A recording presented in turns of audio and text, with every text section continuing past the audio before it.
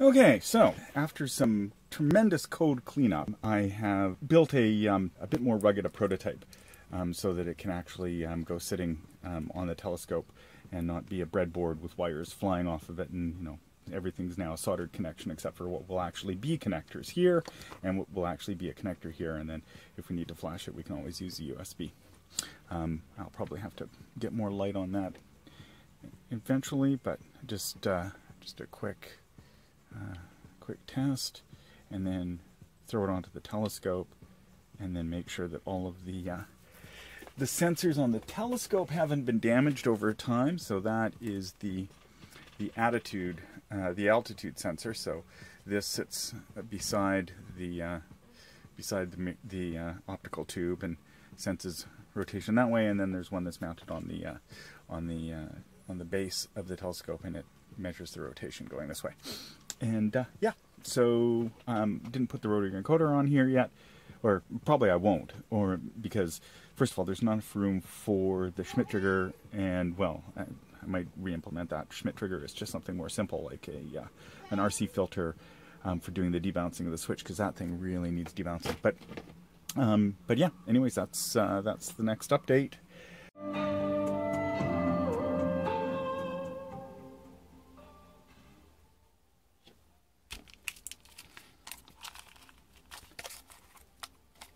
Should hold for a little while. Display packaging.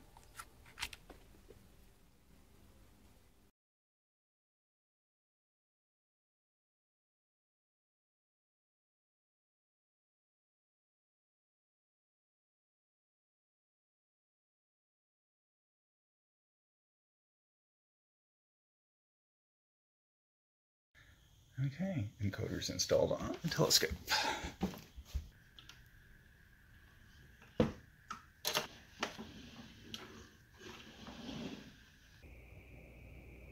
That's solid. That's not jumping around at all. Uh, we can measure the head of one of those screws because it's about one and a half times that, whatever that distance is. Rotate display comes in handy. That one's rock solid. So the um, the one that was the azimuth or um, attitude, oh, azimuth sensor, is totally stable when the uh, magnet's correctly positioned. I think I might have a magnet too close um, on the telescope upstairs, but we can test that quickly.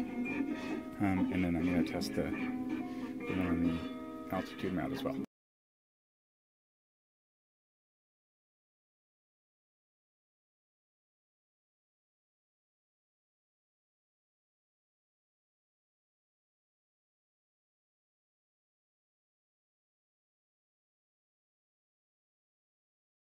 So I took out the foam, so that's probably an eighth of an inch in there.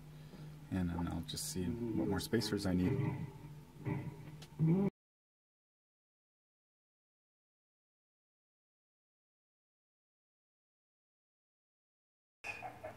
What I did. Solid. That's okay. the best of Cordara Orchestra.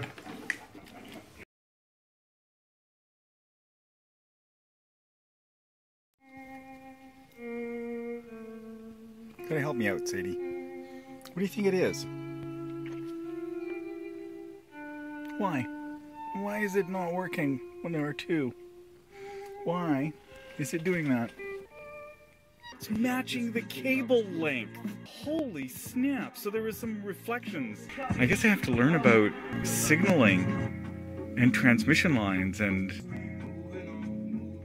that's amazing. Okay, so when I had these blue, this blue pair plugged in, which was the test, which was the test environment, um, it was totally fine. I would I would get um, readings from both, but then when I plugged it into my scope, either one I could get working, but not both of them together. And the reason, well, this is my theory so far. I've got one data point. I've adjusted the cable length on one of the then I tried plugging in various combinations of all of my different sensors. So um, that sensor was off of the um, attitude bearing, Um, and then I plugged them in all different combinations. The only combination that worked was the blue pair. And the only difference between the blue pair and any of the other pairs, any of the other cables, was the blue pair were roughly the same length, within a centimeter or so. So yeah, all right, fair enough. Let's see if I can um, make another one that is the same length as the blue pair, and then get them to work together. And sure enough, that's what it was. Oh my gosh! Um, at least I've got two working um, sensor or three working sensors. I'll adjust the length of the cable on the other sensor, and then we'll see if we get the pair that go back on the telescope working in harmony. But um, yeah, I think I'm on the right track. Holy, holy. All right, those two are vastly different in length, but and they don't work together. So let's just verify that. And there we go. Okay, one of them's not working,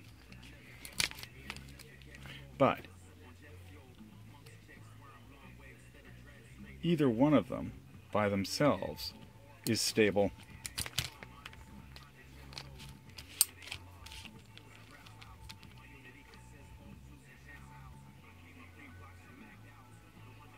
but when they're together,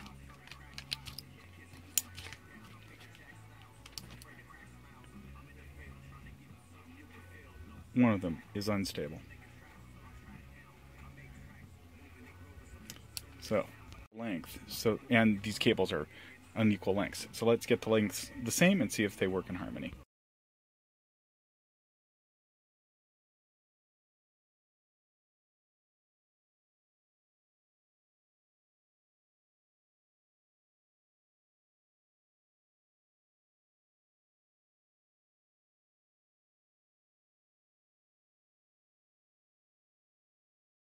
Okay. New encoder's installed, all nicely lined up, plugged in, and seems to be steady.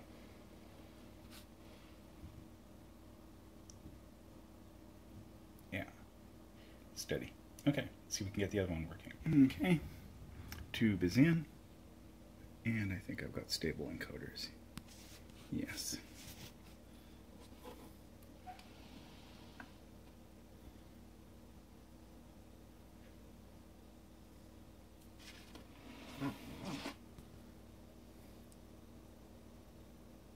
Yes.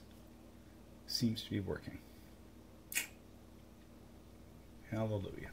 Okay, so because of the good folks at UMG, they um, are not allowing uh, this video to be released because they um, they have a copyright claim on the music that I was listening to on the radio. So, um, anybody who wants to buy music from UMG, I don't think I'm going to be buying any music by artists that are being released by UMG because, you know, the copyright police.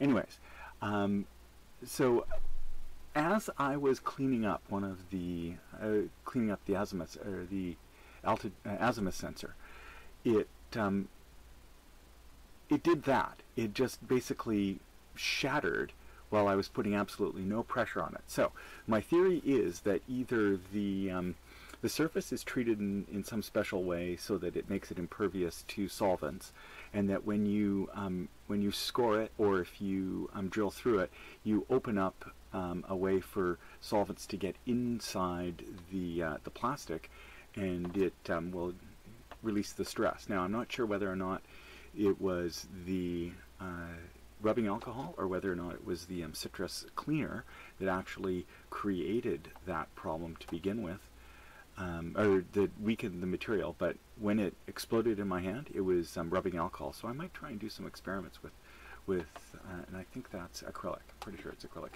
Um, do some experiments with acrylic to see whether or not, um, if you have stresses in the in the acrylic, you can release those stresses by just um, putting a, a, dab of um, rubbing alcohol on them, or whether or not it was the citrus cleaner and it uh, is a problem that manifested itself maybe after an hour of work. Anyways, um, and after an hour of sitting there. Anyways, so um, that led me down the um, the path of having to rebuild the mounting plate for the um, uh, the azimuth sensor, and Uh, so here's a few um, a few pieces of uh, video on the process for creating a new azimuth sensor mount. So what I did was I was doing two plates rather than one plate. One the bottom plate held the sensor and has larger holes so that you can translate the uh, the bottom plate around, and then the top plate has holes that are fitted to the uh, to the mounting holes,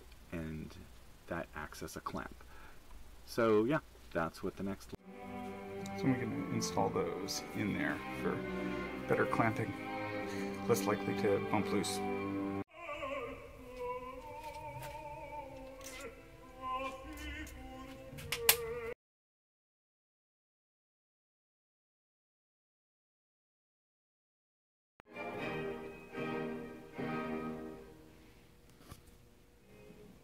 Fernand for his role in the war.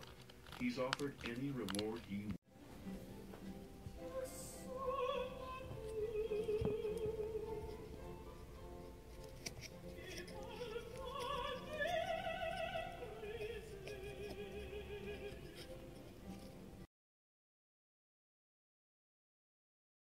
Okay. New encoders installed. Okay, that's the bearings which I just imagine is accumulated dust that collects in the grooves and is just getting scraped off of there. That's just very light. It's not scored or anything like that. It's very fine powder, so I think just cleaning it up will be sufficient. Okay, let's clean that up and give it a new, well, give it a coat of varnish. Light sanding with 500 in between